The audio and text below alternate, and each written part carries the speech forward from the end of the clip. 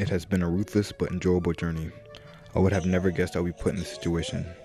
From being 5'10, 155 pounds in the ninth grade to 6'7, 200 pounds, I can only thank God for answering my prayers. Though basketball was not my main focus throughout life, I would, I would have to say basketball has taught me so much.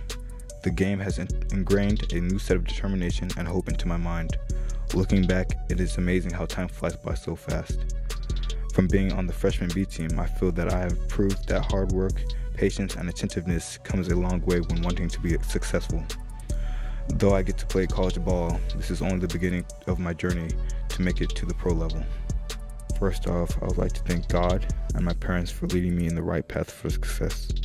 I would also like to thank my high school coaches and AU coaches, Coach Taylor, Coach Brooks, Coach Reyes, and Coach Lou, for accepting me in the program and giving me the time to grow and improve my abilities. I also thank my trainer Jasmine Walker for staying super patient with me and helping me build my skills up throughout the years. And I also thank all my friends that have impacted my life in some way. Lastly, I thank all the college coaches and staff that have showed interest in recruiting me. It has been a fun process, and although the decision was tough,